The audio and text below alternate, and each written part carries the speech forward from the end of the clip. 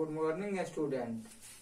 साधारण ब्याज trick number चार पर आधारित प्रश्न चार है।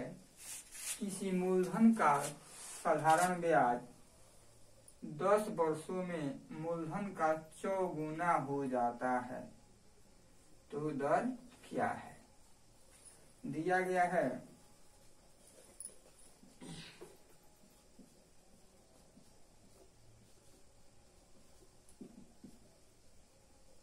टी इजिकल टू दस वर्ष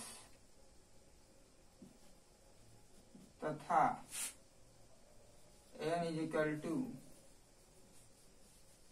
चार गुना। ठीक है? ट्रिक होता है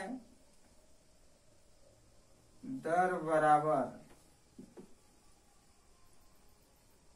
एन गुणे सौ बटा पी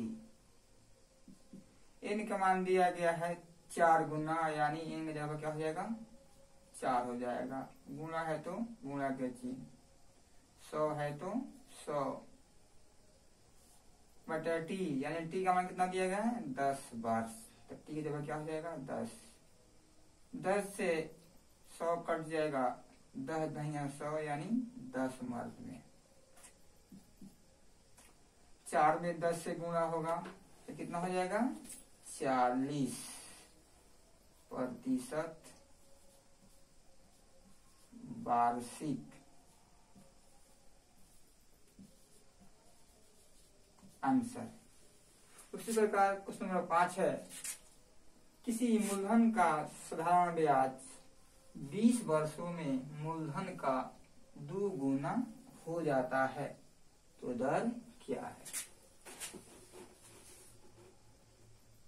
क्वेश्चन नंबर पाँच में दिया गया है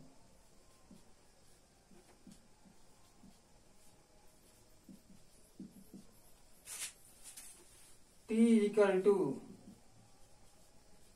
बीस वर्ष। कितना दिया टी बीस वर्ष दिया गया है। तथा एन इजिकल टू दो गुना। कितना दिया गया है? एन इजिकल टू दो गुना। इसीलिए दर इजिकल टू हो जाएगा एन गुणे सौ बटा टी एन के मान दिया गया है दो गुना यानी एन का मान क्या हो जाएगा? दो। गुणा है तो गुणा क्या चीज़ सौ है तो सौ हो जाएगा। बटा टी यानी समय कितना दिया गया है? बीस वर्ष तो टी की जगह पर क्या हो जाएगा? बीस हो जाएगा। सौ, बीस से बीस पंचे सौ, पाँच मर्त में कट जाएगा। ठीक है? इक्वल टू, दो में पाँच से गुणा कितना हो जाएगा? दस प्रतिशत वार्षिक आंसर।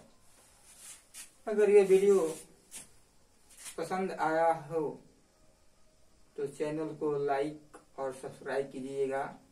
धन्यवाद।